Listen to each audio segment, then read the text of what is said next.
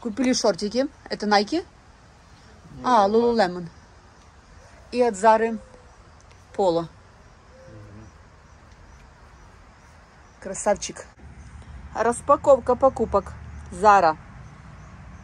Смотрим новинки Зары. Распаковка покупок будет в конце видео, но сейчас расскажем, сколько зарабатывают американские официанты. Друзья, вы на канале Interesting Life. С вами Наташа Юра из Детройта. И сегодня о жизни американской молодежи.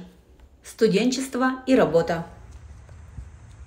Вот как спешат на работу. Не успевает. Дезодорант для обуви. Обувь в машине. Рубашку и брюк нужно стирать каждый день.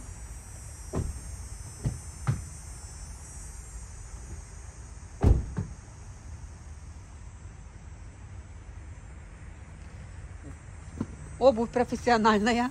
Вот как одеваются официанты американские. Эти туфли похожи на солдатские. В них удобно работать? Ну. Ну, специально для ресторана. Я видела, там на упаковке написано work для работы. Но когда он приходит с работы, час ночи, носки у него мокрые. Показываем пиджак. Как выглядит официант итальянского ресторана. Кто-то хоть с итальянцев работает в этом ресторане? Шеф. Шеф-повар, да? Ага. А все остальные? Арабы. И украинцы, и русские. Ну. Вот как выглядит официант. Также этот пиджак покупал. Заплатил за него 56 долларов. И бабочка. И бабочка еще? А ну покажись. Какой красавчик мой Мгм. сынуля. Так, сколько может заработать официант в ресторане за одну смену? Ну, від 200 до 500. От 200 до 500 долларов, да? Да. Какие типы самые большие давали? Ты получал? 200 доларів. 200 долларов, да? Ага. А какой бил они заплатили за этот стол, что дали тебе 200 Тысячу. долларов? Сколько? Тисячу. Тысячу долларов? Да. А помнишь, в пятницу ты рассказывал, что э, было пропауз, Proposal party. сватовство? Он делал предложение девушке, это арабы. Сколько они заплатили за стол? 18 тисяч. 18 тысяч долларов. А сколько типов оставили? 3200. 3200, да? Да. Они э, снимали отдельный ресторан. Да. Сколько человек было? 170 Это еще не свадьба, а свадьба будет через два года. Вот так празднуют предложение руки и сердца Арабы. арабы. Все, я їду. Все типы, которые тебе дают, они все твои или вы делитесь с теми? Ні, э, всі мої. все твои, да? Да. А как получают типы ты- э, те, кто работает на кухне? Не типи не получають. Не получают, у них только зарплата. Да. Ну что ж, успехов, Да. студентик мой. Все. Пока. Обувь порвалась. Вот как работает. Вот и смена, вот и работа. Все порвались. Слип, щоб не впасти. Ага, специальная подошва. На работу специальные туфли покупают. 50 долларов он заплатил за эти туфли. У них такая твердая подошва, и она не скользит, чтобы официант не упал. Написано, видите, non-bash work для работы. Memory foam и sleep resistant. Обувь приобретает форму ноги, мягкая подошва, не скользкая, чтобы не упасть. И вот что должно быть обязательно в кармане каждого американского официанта. Вот смотрите, ножичек и зажигалка. Ну, это не ножичек, а открывалка для вина. И именно вот такая. И зажигалка для того, чтобы зажигать свечи на тортах для именинников. Одежду, обувь они приобретают и бабочку, и вот такие принадлежности, это их собственные, они приобретают свои деньги. Но работал он официантом только на летнее время, а так он студент одного из лучших университетов нашего штата Мичиган. На этой неделе у всех студентов начался учебный год. Поздравляю всех студентов с началом учебного года. Желаю им хороших преподавателей, ну и, конечно, прекрасных друзей. Ведь студенчество – это самый яркий, незабываемый период жизни. Вот так выглядит американское общежитие и комната в общежитии для студента. Артем, куда едешь? Сколько раз занимаешься в спортзале? Каждый день раз в тиждень. Молодец. Так живет американская молодежь. С работы в спортзал или перед работой в спортзал? Джим, Джим. good luck. Учеба, тренажерный зал, а также работа. Ну и, конечно, студенческие гуляния. Здесь, мне кажется, гуляют покруче, чем даже у нас. Сегодня Артем уезжает, забирает все свои вещи, все забрал с собой. И так делают все студенты. Прощается с соседкой также. А между прочим, свои годы училась в этом же университете. Им есть о чем поговорить. places. Two places, yeah, Italian. Студенчество для них уже период самостоятельной жизни, поэтому они забирают из дома все вещи. И не удивляйтесь этому, американцы все так делают. Я вам покажу, как выезжают девчонки некоторых моих знакомых из дома учиться в общежитие. Вы увидите, что они с собой забирают. Мы загрузили его машину полностью. Bye, have a nice day. Time. А ну покажи мне, что ты? Да. Едем на учебу.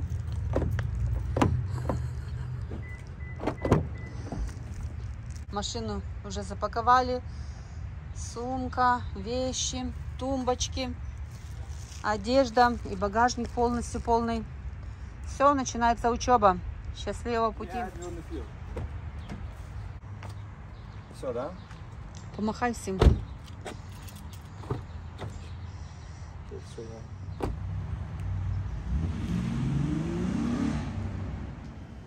Вот столько вещей забирает с собой девчонка, когда едет учиться. Представляете? Это список она себе распечатала, что ей нужно взять с собой. Это первый курс у нее. Она поступила в университет в Мичиган также.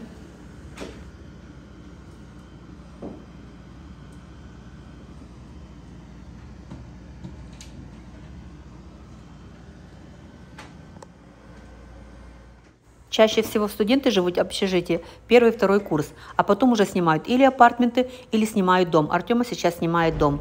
И вот что берут, потому что если ты переезжаешь в апартменты, там уже нет мебели, поэтому многие покупают еще мебель. Вот, смотрите, сколько всего забирают девчонки с собой. Да, когда они едут учиться, кажется, как будто они оставляют дом. Они оставляют свои клозеты полностью пустыми, забирают все с собой. Почему, не знаю. Вот такая у них традиция американская. Это их первый этап самостоятельной жизни. После учебы они уже также снимают дом. Они редко возвращаются домой. Купили шортики. Это Nike? А, Lululemon. И от Зары Поло. Красавчик. Распаковка покупок. Зара. Смотрим. Новинки Зары.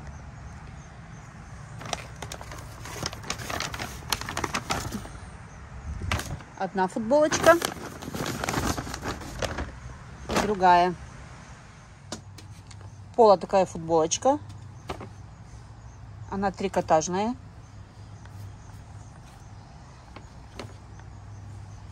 Стоит 39,50 долларов. И такая же футболка. Видите, какой материал? В Бангладеше делает. Вот такая же футболочка. Артем у нас в последнее время покупает все черные вещи. Не знаю, мода такая у них или он любит так. У него очень много друзей арабов. Оверсайз. Широкая и не очень длинная.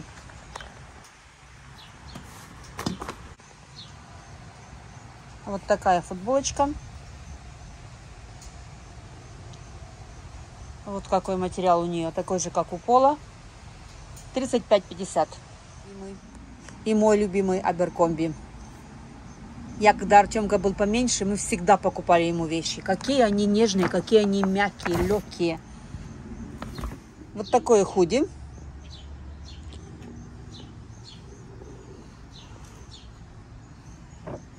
Черное. Какая же это мягкая ткань, она просто как фланелька, я даже не могу вам объяснить. Ну просто вот притрагиваешься к ней, и она как будто тебя тепло обволакивает. Амберкомби качество, ну просто фантастическое. И вот такая футболка, она без рукавов. Такая спортивная маечка. 35 долларов.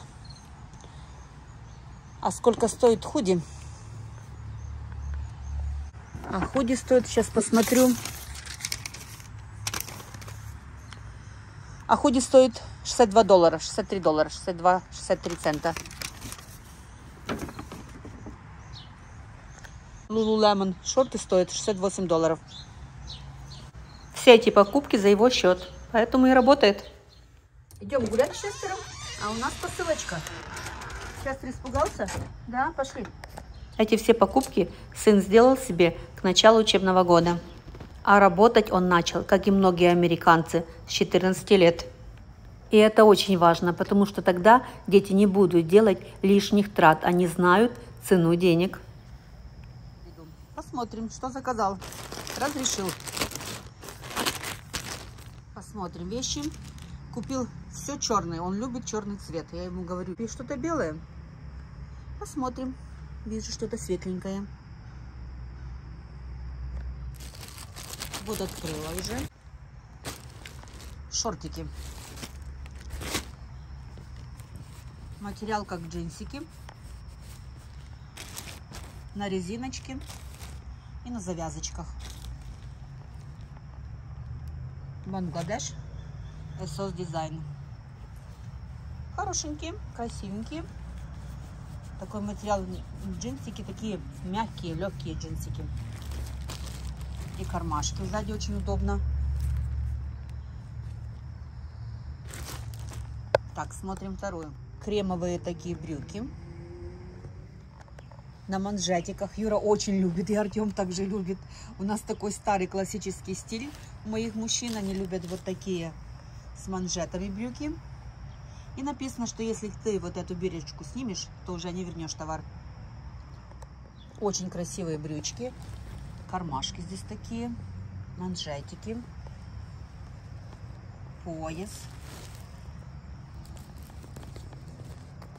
На застежках. И материал такой, как хлопок. Это уже Камбоджия.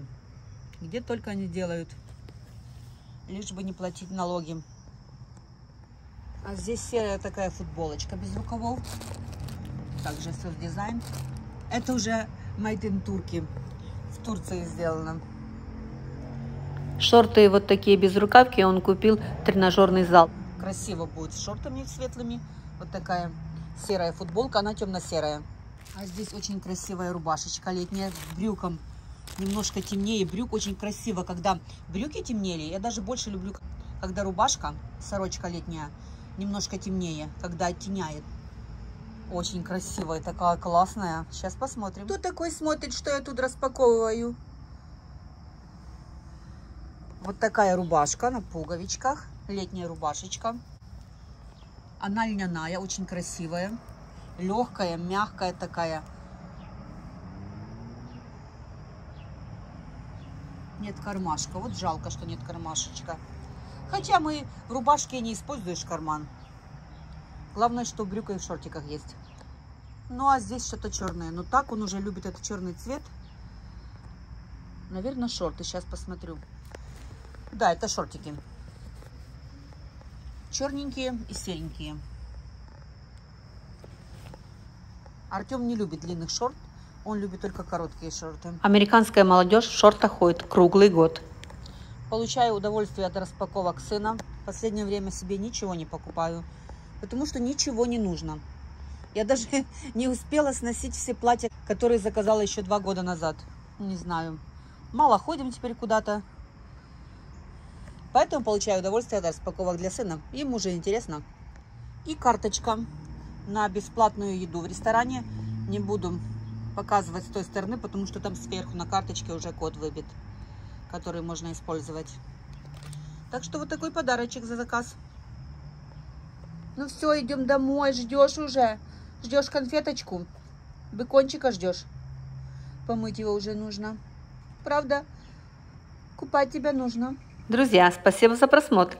Надеюсь, вам было интересно. Не забудьте поставить лайк и пишите, что вам интересно узнать о жизни американской молодежи и студенческой жизни.